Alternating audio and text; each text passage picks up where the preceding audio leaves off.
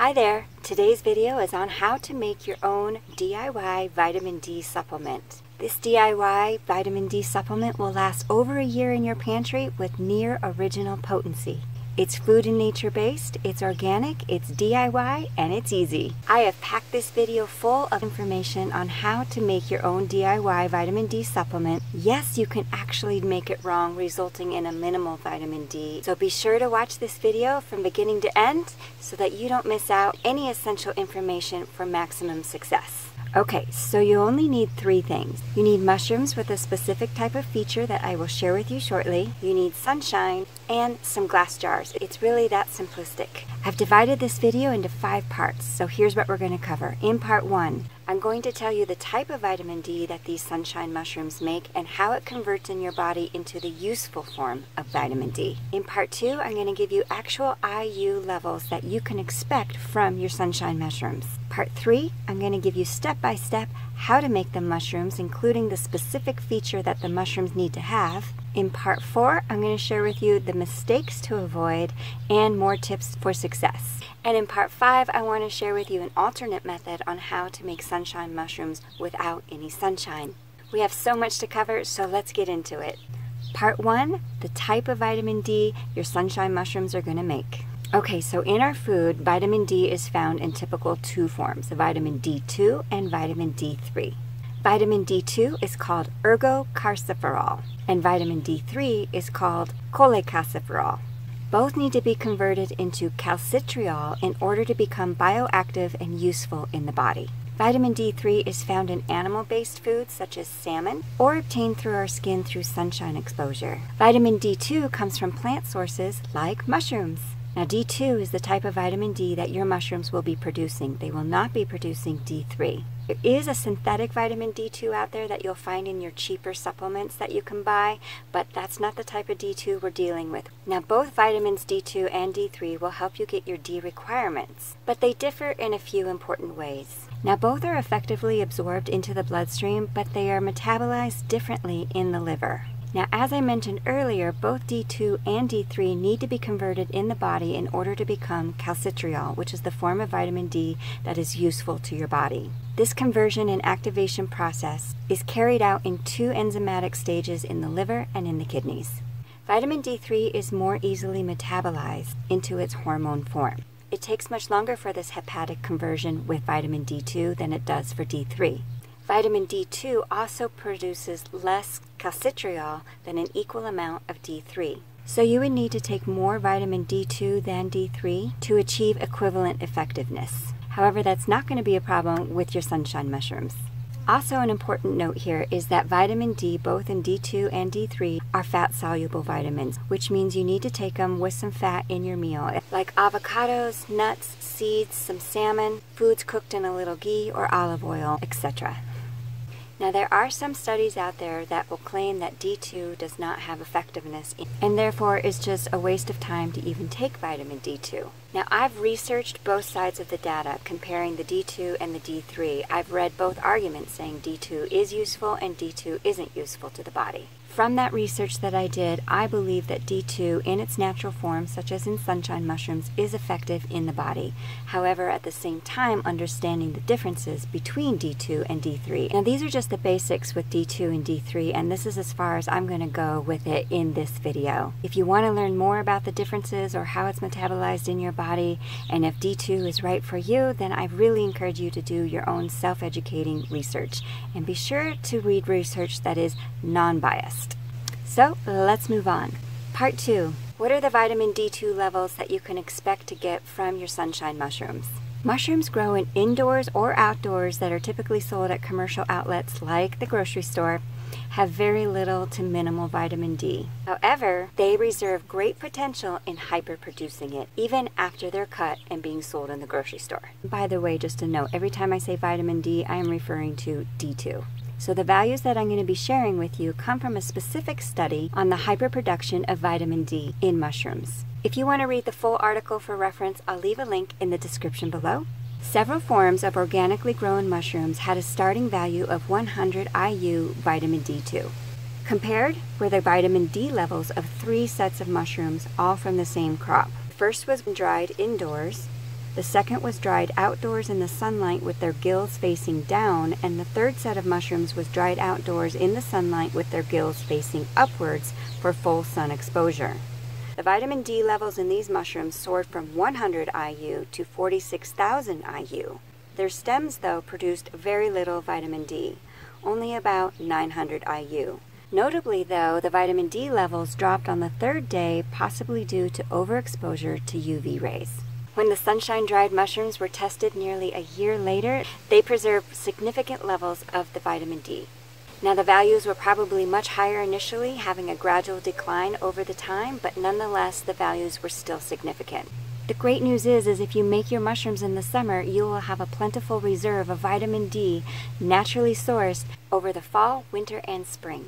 Now, if you think going from 100 IU to 46,000 IU is pretty impressive, wait till part 5 when I give you the details on an alternate method of making sunshine mushrooms without actually any sunshine. Those levels will even knock your socks off. So stay tuned, you don't want to miss that. So back to part 2's topic on how much vitamin D is actually in these mushrooms. The next question may be how much of that vitamin D2 actually makes it into the bloodstream? Well, here's the summary of one study comparing 26 people who took a vitamin D supplement to 26 others ingesting vitamin D enriched mushrooms four times a week for five weeks, researchers at the University Medical Center in Freiburg, Germany, found that serum levels of vitamin D were similar. They used button mushrooms exposed to UV light that resulted in 20,000 IU of the vitamin D subjects ingested 120 grams of vitamin D enriched mushrooms, which is about a quarter of a pound, roughly a handful. The results showed similar levels of vitamin D were absorbed in the blood in both groups.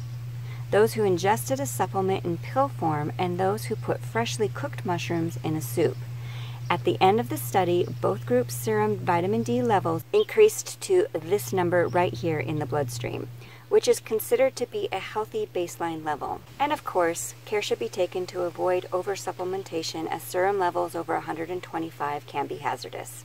So you inspired and excited about making some sunshine mushrooms? Awesome. Let's get into part 3, step by step how to make your vitamin D rich sunshine mushrooms.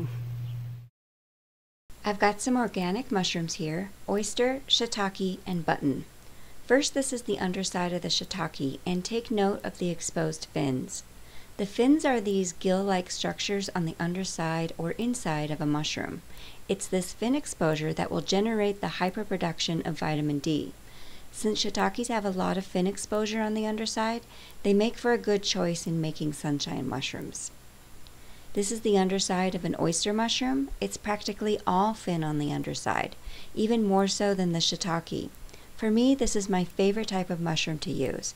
It also tends to be a bit less expensive than the shiitakes, but can sometimes be a little harder to find. This is the underside of a common white button mushroom. Practically no fin exposure at all, so this is not the best choice. However, if you stick around to later in this video, I'll show you what you can do to make these effective, but just using a different technique. Oyster mushrooms come in these clumps, so I'm going to break off each mushroom and lay it on a cookie sheet. With the shiitake, I'm going to cut the dried up stump part off of the stem, then lay them out on the cookie sheet just like I did with the oyster mushrooms. I'm going to experiment with these portobello mushrooms due to their size and large fin exposure. I'm trimming the edge just to further expose the fins. Let's find out if this is a good choice to use. After the mushrooms are laid out on the baking sheets, put them in a place where they're going to receive full sun for at least six hours up to eight. Don't leave the mushrooms out overnight. They could reabsorb the moisture in the air from the evening, night, and morning dews and the humidity shifts that come with temperature changes. Bring them inside, but no need to cover them. Around 11 a.m. on day two, set them out again in full sun for 6 to 8 hours. These are my mushrooms at the end of day two. They are fully dried to a crisp, which is exactly what you want. Break your mushrooms to test their dryness. They should snap when they break, just like this.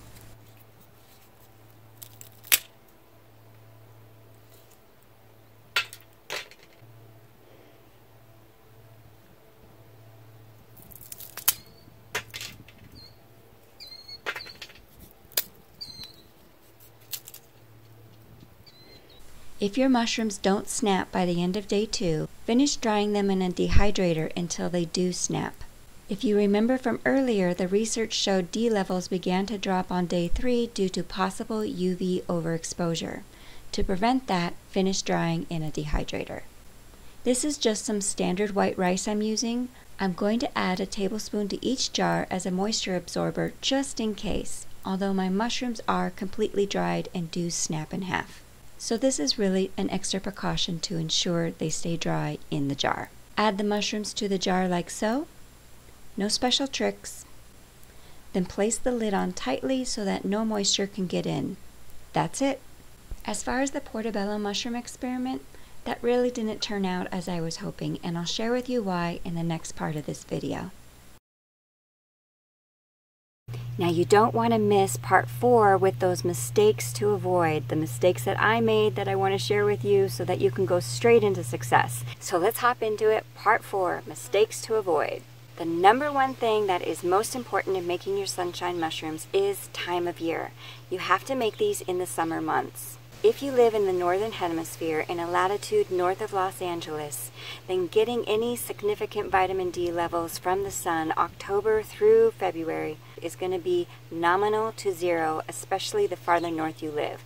So I live in Montana, so those who live in Seattle or Alberta, UK, Ireland, yeah, good luck. You're not going to be getting any vitamin D during those months. So, really important, you got to get this done in the summer.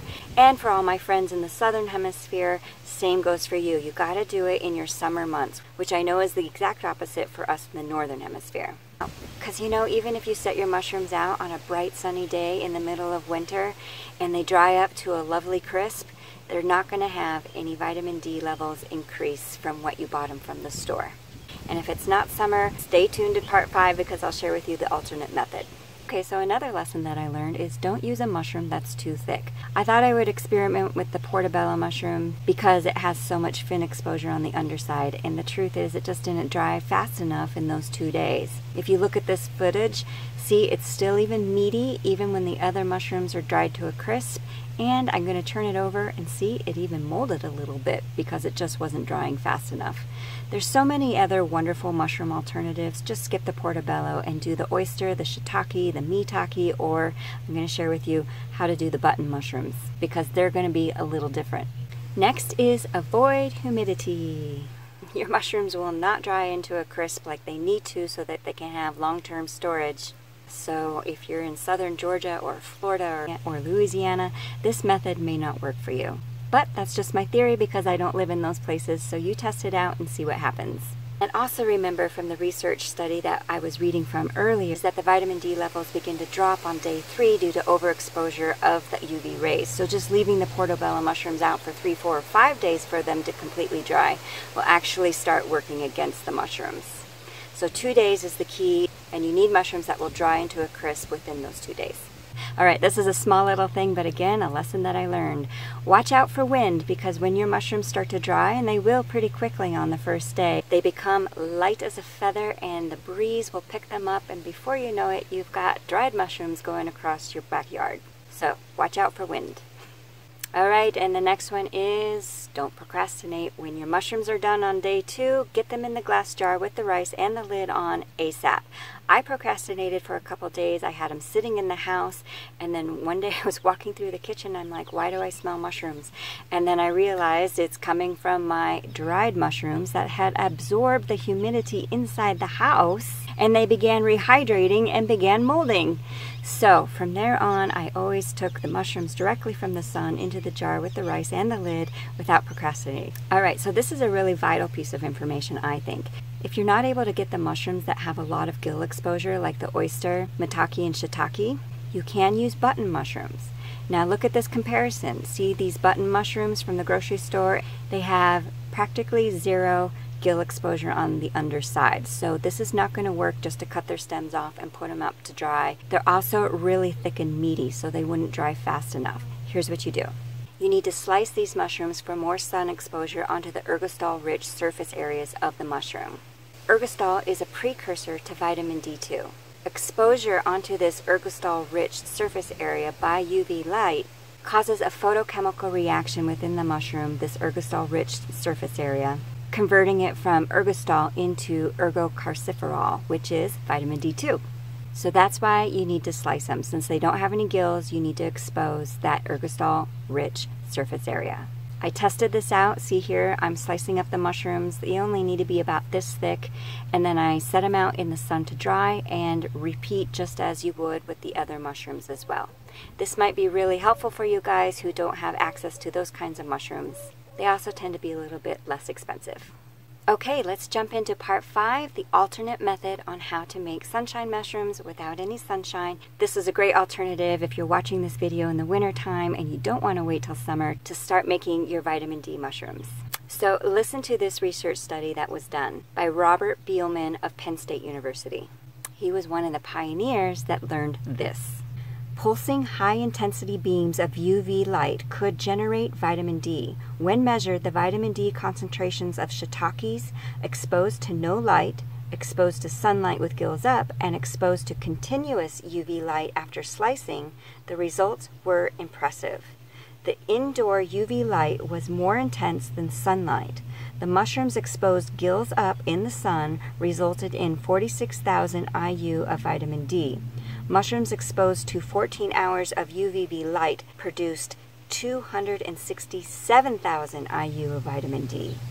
Now, it wasn't tested, but it is theory that the sliced mushrooms would produce more vitamin D since the ergostol surface area was increased. However, the sun is a convenient and free method of getting your UV light for your mushrooms, and setting up a UV chamber light and buying all the supplies and doing it right is not convenient and free. Just a caution I have to put in there, using a UVB lamp can cause damage to your eyes and your skin, so don't attempt this without taking necessary precautions. You'll need to put together a safe UVB light chamber that will keep you protected by keeping the UVB light away and off of you, yet exposing the mushrooms. So be sure to do proper research before attempting that. I hope that you learned so much from this video and I also hope that you're not going to delay in jumping into making those sunshine mushrooms if it's summer. And if you decide to do the UVB light chamber for winter mushrooms, leave me a comment below and let me know how that goes. I'd love to hear about it. Hey, so check out some of my other videos right here. Hit that subscribe button to be a part of my channel, Clean Food Living. And I'll see you in my next video. Have a great day. Bye.